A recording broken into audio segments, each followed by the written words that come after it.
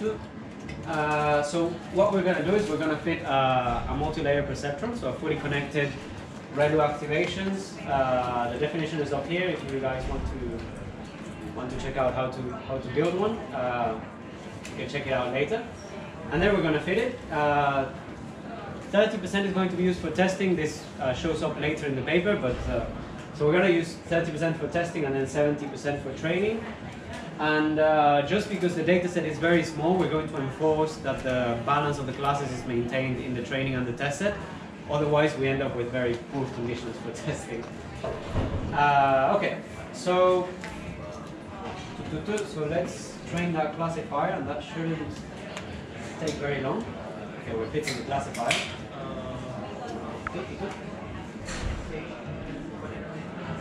Moment of truth. Okay, so that fitted. It's a very small data set, so uh, it's very quick. So we got precision, recall, and F score. Uh, let's see what's the precision. Uh, so precision is fairly alright for all three classes. Uh, the recall, again, recall is fairly alright for all the classes. And of course, if they are alright, then the F1 score is also going to be uh, fairly okay for the class, okay?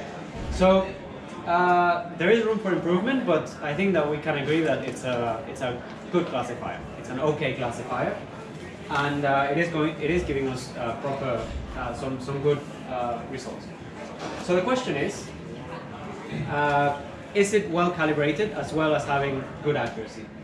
And so the way we're going to do that is I'm going to use scikit-learn, it, it, a function called calibration curve. And what calibration curve does is exactly what I explained before. So it takes all your predictions, so all your softmax outputs that said 0.8, and it puts them in one bin, and then it calculates how many of those examples uh, were actually correctly classified, and it produces a curve. Uh, we're going to see it in a second, but it produces a curve where you can see the calibration. Okay, so let's do it for the first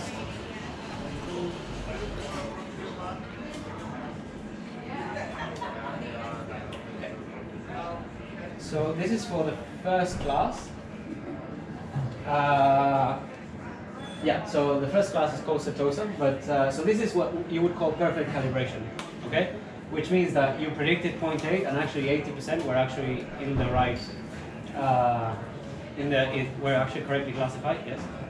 Do we know how many data points are in each bucket?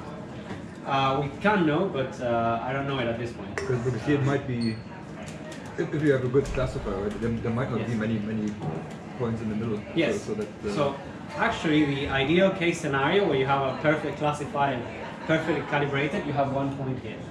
So it's 100% accuracy and it's always right. Make sense? So yeah, one other interesting thing to look in these curves is how much support you have in each of the classes.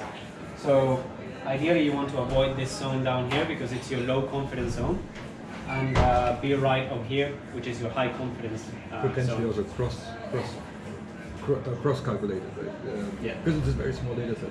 Yes, it's a very small data set. So the idea is that if you if you like the code, just take it and apply it on your data, and uh, it should work the same, and you should get more interesting results possible. So same, very high F1 score, but this region is telling you that your classifier is being underconfident, right? So you have, uh, you're saying, okay, it's going to be around 60%, uh, but actually 100% were correctly classified. So this is not a proper probability estimation, right? When your classifier says there's a 60% chance of this example being right, actually all of them were right. And uh, same here, this is a, uh, so this is what you call the low confidence area. Let's see if it shows up in the, in the next one.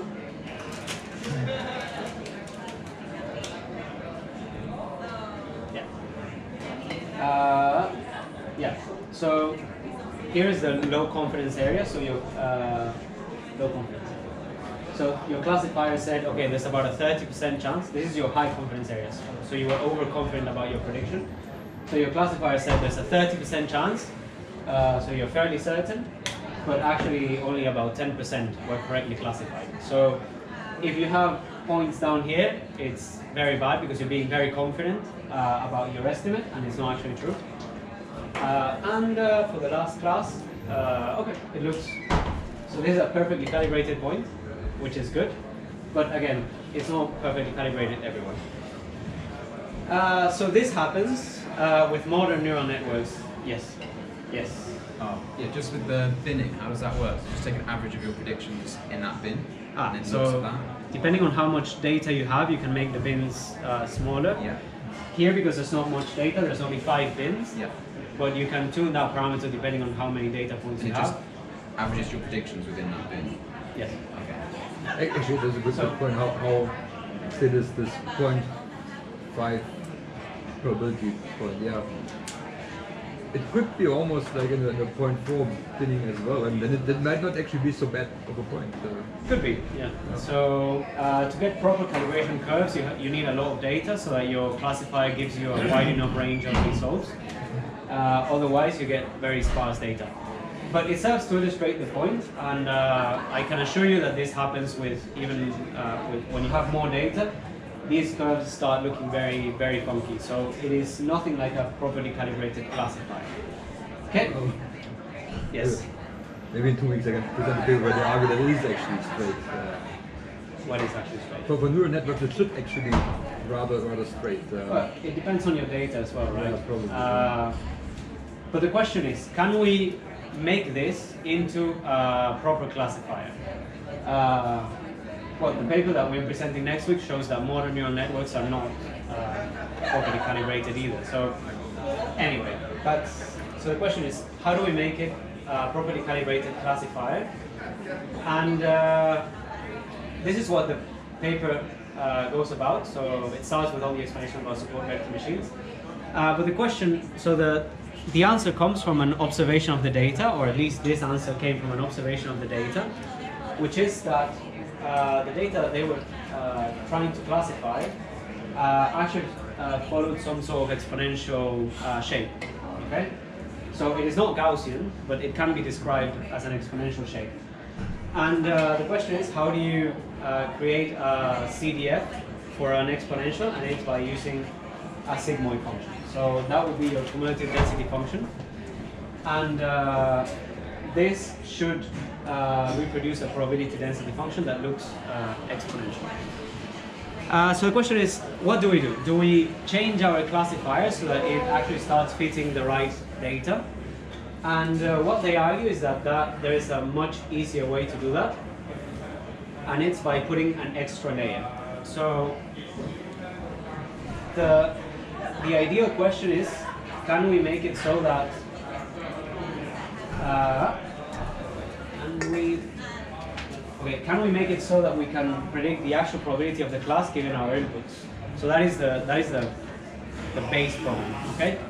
What the, pa- what the paper argues is that since uh, our classifiers are, are already proportional to the log uh, to the log probabilities, because that is what we are trying to optimize, then we can put another fitting layer on top, which says, okay, these scores that you're giving me, these scores uh, here, are actually not actual probabilities, but they are proportional to actual probabilities, and we can do uh, sigmoid fitting uh, on top of that. Uh, so you do something like this. Uh, you say, okay, let's say we have our function f. Well, can I now find the probability of the class being positive, so probability of y equals 1,